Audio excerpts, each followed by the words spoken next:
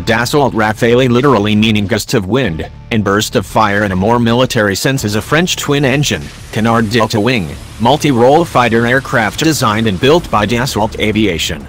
Equipped with a wide range of weapons, the Rafale is intended to perform air supremacy, interdiction, aerial reconnaissance, ground support, in-depth strike, anti-ship strike and nuclear deterrence missions. The Rafale is referred to as an omnirole aircraft by Dassault. In the late 1970s, the French Air Force and Navy were seeking to replace and consolidate their current fleets of aircraft.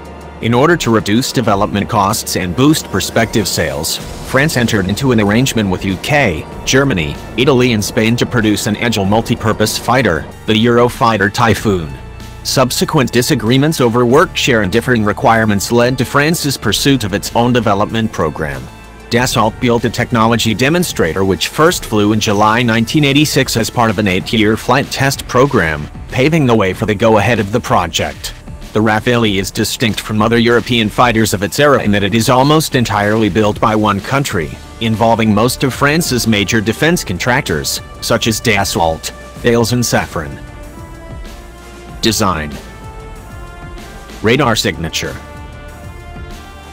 although not a full-aspect stealth aircraft, the cost of which was viewed as unacceptably excessive. The Rafale was designed for a reduced radar cross-section, RCS, and infrared signature.